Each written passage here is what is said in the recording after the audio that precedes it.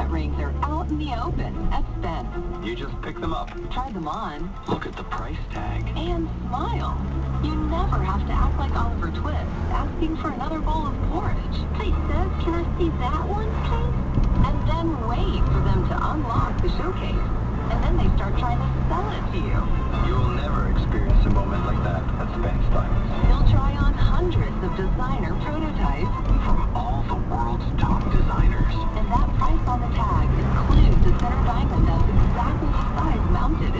type. A diamond with no visible inclusion. Fabulous color. Fantastic costume. And you can choose the diamond yourself. Your ring will be custom manufactured to fit your finger perfectly. That ring has never been on anyone's finger but yours. You choose your ring. And then we make it for you. You get a much better ring. And a much better price. Spence. Located in Boston, Scarborough, and Mississauga.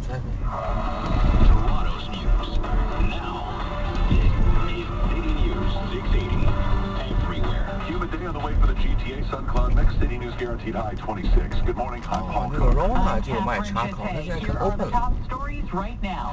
Sports bars are maybe All your green. place with the backyard TV. will be the place to be tomorrow Wednesday. I mean, all blue. Necessary Thursday. All games are scheduled for the Blue Jays wild card series in Minnesota against the Twins. Full story coming up in sports.